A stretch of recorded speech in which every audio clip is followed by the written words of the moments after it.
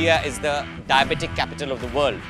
But I would argue that it is also the COPD capital of the world. You know, we have pushed COPD from being the second cause, the third cause of mortality throughout the world to being the second cause of mortality throughout India. You can have just about everything. You have, you have have a balanced diet. So there is nothing called a diabetes diet. So nowadays it has been replaced by the term healthy diet. there's this taboo that if they take a steroid inhaler, then their bones become brittle, their cataract develops and the diabetes goes haywire.